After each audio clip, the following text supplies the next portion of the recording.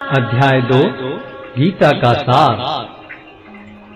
संजय ने कहा, करुणा से व्याप्त शोक युक्त अश्रुपूरित नेत्र वाले अर्जुन को देखकर मधुसूदन कृष्ण ने ये शब्द कहे। श्री भगवान ने कहा, हे अर्जुन, तुम्हारे मन में यह कलमश आया कैसे? यह उस मनुष्य के लिए तनुक्ति अनुकूल नहीं है जो जीवन के मूल्य को जानता हो। इससे उच्च लोक की नहीं, अपितु अपयश की प्राप्ति होती है। हे प्रतापुत्र, इस हीन नपुसंगता को प्राप्त मत हो। यह तुम्हें शोभा नहीं देती। हे शत्रुओं के दमन करता हृदय की शुद्ध दुर्बलता को त्याग कर युद्ध के लिए खड़े हो। अर्जुन ने कहा, हे शत्रुहंता, हे मधुसूदन मैं युद्ध भूमि में किस तरह भीष्म तथा द्रोण जैसे पूजनीय व्यक्तियों पर उलटकर बाण चलाऊँगा? ऐसे महापुरुषों को जो मेरे गुरु हैं, उन्हें मारकर जीने की अपेक्षा इस संसार में भीख मांगकर खाना अच्छा है। भले ही वे सांसारिक लाभ के इच्छुक हों, किंतु हैं तो गुरुजन ही। यदि उनका वध होता है तो हमारे द्वारा भोग्य प्रत्येक वस्तु उनके रक्त से सनी होगी। हम यह भी नहीं जानते कि हमारे लिए क्या श्रेष्ठ है, उनको जीतना या उनके द्वारा जीते जाना। यदि हम धृतराष्ट्र के पुत्रों का वध कर देते हैं तो हमें जीवित रहने की आवश्यकता नहीं है, फिर भी वे युद्ध भूमि में हमारे समक्ष खड़े हैं। अब मैं अपनी कृपण दुर्बलता के कारण अपना कर्तव्य भूल गया हूँ और सारा धैर्य खो चुका हूँ। ऐसी अवस्था में मैं आपसे पूछ रहा हूँ कि जो मेरे लिए श्रेयस्कर हो, उससे निश्चित रूप से बताएँ, अब मैं आपका शिष्य हूँ और आपका शरणागत हूँ। कृपया मुझे उपदेश दें। मुझे ऐसा कोई साधन नहीं दिखता जो मेरी इंद्रियों को सुखाने वाले इस शोक को दूर कर सके। स्वर्ग पर देवताओं के अधिपत्य की तरह, इस धन धान्य संपन्न सारी पृथ्वी पर निष्कंटक राज्य प्राप्त करके भी मैं इस शोक को दूर नहीं कर सकूँगा। संजय ने कहा, इस प्रकार कहने के बाद शत्रुओं का दमन करने वाला अर्जुन कृष्ण से बोला, हे गोविंद, मैं युद्ध नहीं करूँगा और चुप हो गया हे भरतवंशी धृतराष्ट्र, उस समय दोनों सेनाओं के मध्य शोक मग्न अर्जुन से कृष्ण ने मानो हँसते हुए ये शब्द कहे। श्री भगवान ने कहा, तुम पांडित्यपूर्ण वचन करते हुए उनके लिए शोक कर रहे हो, जो शोक करने योग्य नहीं है, जो विद्वान होते हैं, वे न तो जीवित के लिए, न ही मृत के लिए शोक करते हैं। ऐसा कभी नहीं हुआ कि मैं न रहा हूँ या तुम न रहे हो, अथवा ये समस्त राजा न रहे हों, और न ऐसा है कि भविष्य में हम लोग नहीं रहेंगे। जिस प्रकार शरीरधारी आत्मा इस शरीर में बाल्यावस्था से करुणावस्था में और फिर वृद्धावस्था में निरंतर अग्रसर होता रहता है, उसी प्रकार मृत्यु होने पर आत्मा दूसरे शरीर में चला जाता है। धीर व्यक्ति ऐसे परिवर्तन से मोह को प्राप्त नहीं होता। हे कुंती पुत्र, सुख तथा दुख का क्षणिक उदय तथा कालक्रम में उनका अंतर्धान होना सर्दी तथा गर्मी की ऋतुओं के आने जाने के समान है। हे भरतवंशी, वे इंद्रिय बोध से उत्पन्न होते हैं और मनुष्य को चाहिए कि अविचल भाव से उनको सहन करना सीखे। हे पुरुष श्रेष्ठ अर्जुन, जो पुरुष सुख तथा दुख में विचलित नहीं होता और इन दोनों में संभाव रखता है, वह निश्चित रूप से मुक्ति के योग्य है। तत्वदर्शियों ने यह निष्कर्ष निकाला है कि असत का तो कोई चिरस्थायित्व नहीं है, किंतु सत्य अपरिवर्तनीय रहता है। उन्होंने इन दोनों की प्रकृति के अध्ययन द्वारा यह निष्कर्ष निकाला है। जो सारे शरीर में व्याप्त है, उसे ही तुम अविनाशी समझो। उस अव्यय आत्मा को नष्ट करने में कोई भी समर्थ नहीं है। अविनाशी, अप्रमेय तथा शाश्वत जीव के भौतिक शरीर का अंत अवश्यम भावी है। अतः हे भरतवंशी, युद्ध करो। जो इस जीवात्मा को मारने वाला समझता है तथा जो इसे मरा हुआ समझता है, वे दोनों ही अज्ञानी हैं, क्योंकि आत्मा न तो मरता है और न मारा जाता है। आत्मा के लिए किसी भी काल में न तो जन्म है, न मृत्यु। वह न तो कभी जन्मा है, न जन्म लेता है और न जन्म लेगा। वह अजन्मा, नित्य, शाश्वत तथा पुरातन है। शरीर के मारे जाने पर वह मारा नहीं जाता। हे पार्थ जो व्यक्ति यह जानता है कि आत्मा अविनाशी अजन्मा शाश्वत तथा अव्यय है वह भला किसी को कैसे मार सकता है या मरवा सकता है? जिस प्रकार मनुष्य पुराने वस्त्रों का त्याग कर नए वस्त्र धारण करता है उसी प्रकार आत्मा पुराने तथा व्यर्थ के शरीरों को त्याग कर नवीन भौतिक शरीर धारण करता है। यह आत्मा न तो कभी किसी शस्त्र द्वारा खंड खंड किया जा सकता है, न अग्नि द्वारा जलाया जा सकता है, न जल द्वारा भिगोया या वायु द्वारा सुखाया जा सकता है। यह आत्मा अखंडित तथा अघुलनशील है, इसे न तो जलाया जा सकता है, न ही सुखाया जा सकता है। यह शाश्वत सर्वव्यापी, अविकारी, स्थिर तथा सदैव एकता रहने वाला है। यह आत्मा अव्यक्त अकल्पनीय तथा अपरिवर्तनीय कहा जाता है। यह जानकर तुम्हें शरीर के लिए शोक नहीं करना चाहिए। किंतु यदि तुम यह सोचते हो कि आत्मा अथवा जीवन का लक्षण सदा जन्म लेता है तथा सदा मरता है तो भी है महाबाहु, तुम्हारे शोक करने का कोई कारण नहीं है।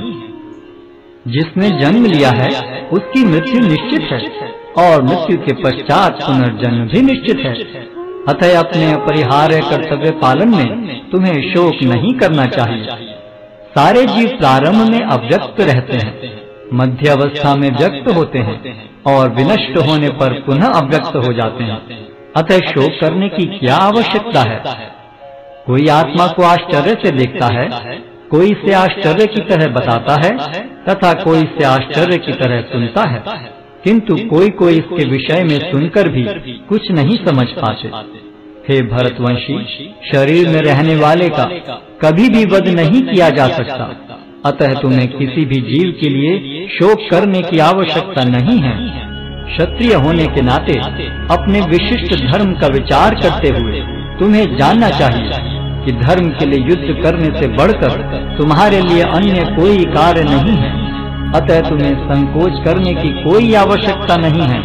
ये पाठ वे क्षत्रिय सुखी हैं, जिन्हें ऐसे युद्ध के अवसर अपने आप प्राप्त होते हैं, जिससे उनके लिए स्वर्ग लोक के द्वार खुल जाते हैं।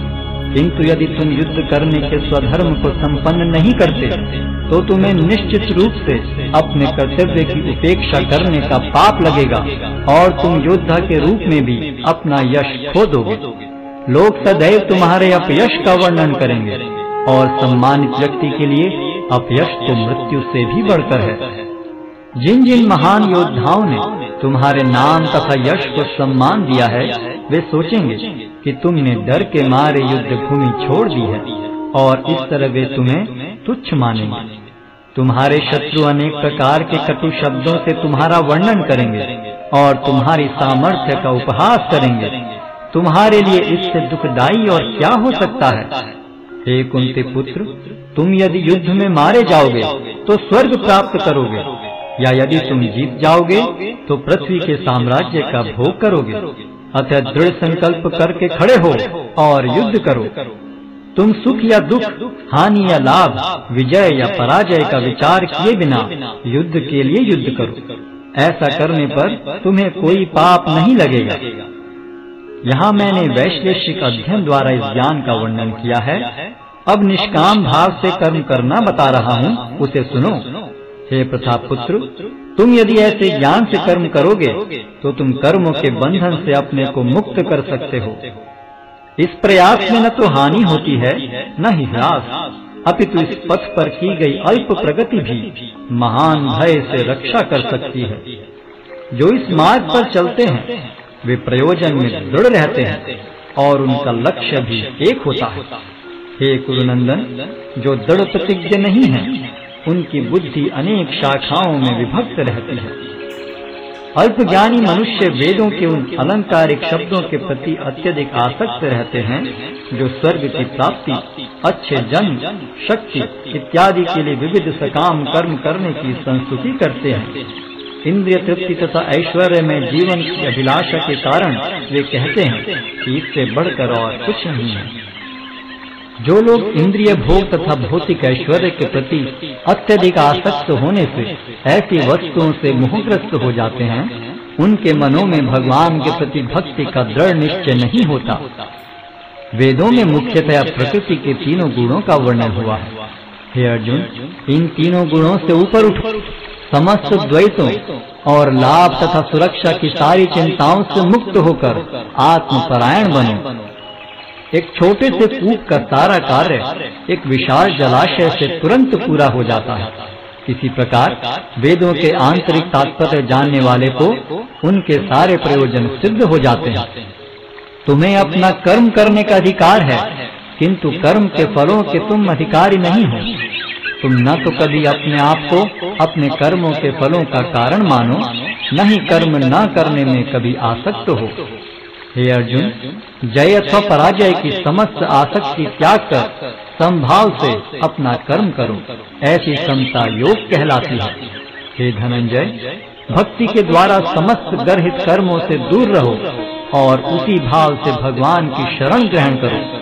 जो व्यक्ति अपने सकाम कर्म फलों को भोगना चाहते हैं, वे कृपण हैं। भक्ति में संलग्न मनुष्य इस जीवन में ही अच्छे तथा बुरे कार्यों से अपने को मुक्त कर लेता है। अतः योग के लिए प्रयत्न करो, क्योंकि सारा कार्य कौशल यही है। इस तरह भगवत भक्ति में लगे रहकर बड़े बड़े ऋषि, मुनि अथवा भक्तगण अपने आप को इस भौतिक संसार में कर्म के फलों से मुक्त कर लेते हैं। इस प्रकार वे जन्म मृत्यु के चक्र से छूट जाते हैं और भगवान के पास जाकर उस अवस्था को प्राप्त करते हैं जो समस्त दुखों से परे है। जब तुम्हारी बुद्धि मोह रूपी सघन वन को पार कर जाएगी तो तुम सुने हुए तथा सुनने योग्य सबके प्रति अन्य मनस्क हो जाओगे। जब तुम्हारा मन वेदों की अलंकारमयी भाषा से विचलित न हो और वह आत्म साक्षात्कार की समाधि में स्थिर हो जाए तब तुम्हें दिव्य चेतना प्राप्त हो जाएगी। अर्जुन ने कहा हे कृष्ण अध्यात्म में लीन चेतना वाले व्यक्ति के क्या लक्षण हैं? वह कैसे बोलता है तथा उसकी भाषा क्या है? वह किस तरह बैठता और चलता है? श्री भगवान ने कहा हे पार्थ जब मनुष्य मनोधर्म से उत्पन्न होने वाली इंद्रिय तृप्ति की समस्त कामनाओं का परित्याग कर देता है और जब इस तरह से विशुद्ध हुआ उसका मन आत्मा में संतोष प्राप्त करता है तो वह विशुद्ध दिव्य चेतना को प्राप्त स्थित प्रज्ञ कहा जाता है, जो त्रय तापों के होने पर भी मन में विचलित नहीं होता अथवा सुख में प्रसन्न नहीं होता और जो आसक्ति, भय तथा क्रोध से मुक्त है वह स्थिर मन वाला मुनि कहलाता है। इस भौतिक जगत में जो व्यक्ति न तो शुभ की प्राप्ति से हर्षित होता है और न अशुभ के प्राप्त होने पर उससे घृणा करता है। वह पूर्ण ज्ञान में स्थिर होता है। जिस प्रकार कछुआ अपने अंगों को संकुचित करके खोल के भीतर कर लेता है, उसी तरह जो मनुष्य अपनी इंद्रियों को इंद्रिय विषयों से खींच लेता है वह पूर्ण चेतना में दृढ़ता पूर्वक स्थिर होता है। देहधारी जीव इंद्रिय भोग से भले ही निवृत्त हो जाए, पर उसमें इंद्रिय भोगों की इच्छा बनी रहती है। लेकिन उत्तम रस के अनुभव होने से ऐसे कार्यों को बंद करने पर वह भक्ति में स्थिर हो जाता है। हे अर्जुन, इंद्रियाँ इतनी प्रबल तथा वेगवान हैं कि वे उस विवेकी पुरुष के मन को भी बलपूर्वक हर लेती हैं जो उन्हें वश में करने का प्रयत्न करता है। जो इंद्रियों को पूर्णतया वश में रखते हुए इंद्रिय संयम करता है और अपनी चेतना को मुझमें स्थिर कर देता है, वह मनुष्य स्थिर बुद्धि कहलाता है। इंद्रिय विषयों का चिंतन करते हुए मनुष्य की उनमें आसक्ति उत्पन्न हो जाती है और ऐसी आसक्ति से काम उत्पन्न होता है और फिर काम से क्रोध प्रकट होता है। क्रोध से पूर्ण मोह उत्पन्न होता है और मोह से स्मरण शक्ति का विभ्रम हो जाता है। जब स्मरण शक्ति भ्रमित हो जाती है तो बुद्धि नष्ट हो जाती है और बुद्धि नष्ट होने पर मनुष्य भवकूप में पुनः गिर जाता है। किंतु स्वस्थ राग तथा द्वेष से मुक्त एवं अपनी इंद्रियों को संयम द्वारा वश में करने में समर्थ व्यक्ति भगवान की पूर्ण कृपा प्राप्त कर सकता है। इस प्रकार से कृष्ण भावनामृत में तुष्ट व्यक्ति के लिए संसार के तीनों ताप नष्ट हो जाते हैं और ऐसी तुष्ट चेतना होने पर उसकी बुद्धि शीघ्र ही स्थिर हो जाती है।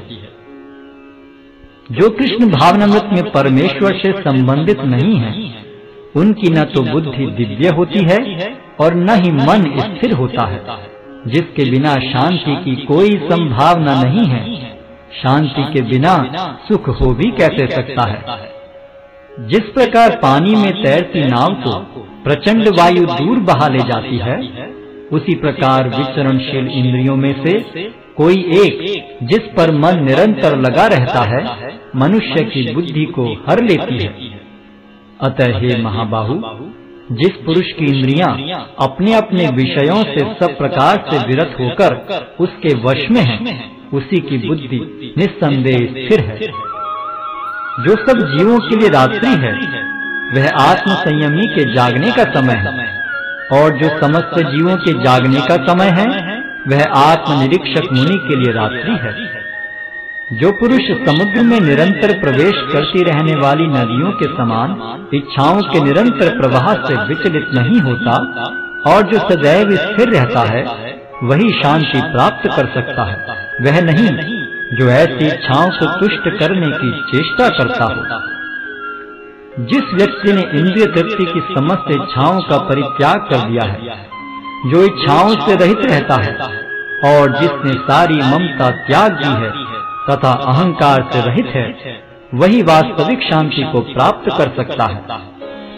यह आध्यात्मिक तथा ईश्वरीय जीवन का पथ है जिसे प्राप्त करके मनुष्य मोहित नहीं होता। यदि कोई जीवन के अंतिम समय में भी इस तरह स्थित हो तो वह भगवत धाम में प्रवेश कर सकता है।